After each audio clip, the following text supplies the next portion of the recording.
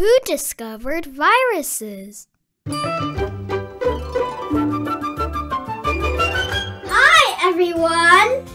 I know now you may be staying at home because your school is closed.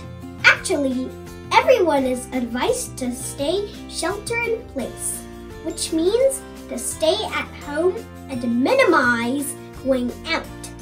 This is all because of the coronavirus, which has become a pandemic today and affects everyone's life.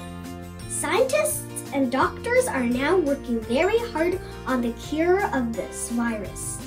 In fact, humans have been battling viruses since before our species had even evolved into its modern form. But when did we first discover viruses? Well, let me tell you the story.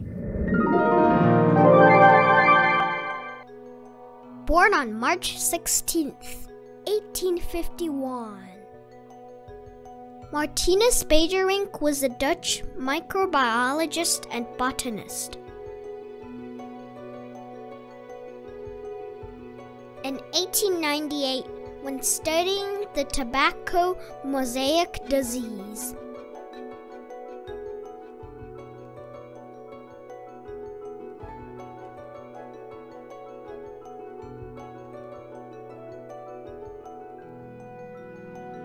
He found that a certain infectious agent could pass through the filters that was supposed to stop bacteria.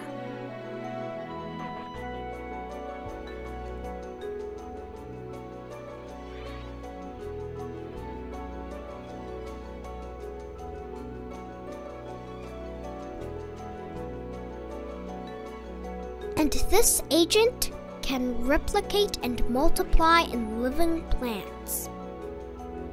He then named the new pathogen virus.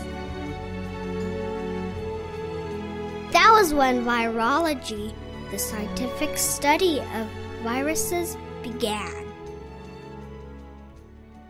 Thus, Martinus Beijerinck is often called the father of virology. Nowadays, although we know so much more about viruses than before, we still cannot beat them. Just as Bill Gates once said in a TED Talk in 2015, we've actually invested very little in a system to stop an epidemic. This is why the coronavirus COVID 19 became a pandemic so quickly today. There is still no cure for the disease. Everyone pins their hope on developing a new vaccine for COVID 19. It is said that the 21st century will be defined by biology. Maybe now is the very moment. Are you ready?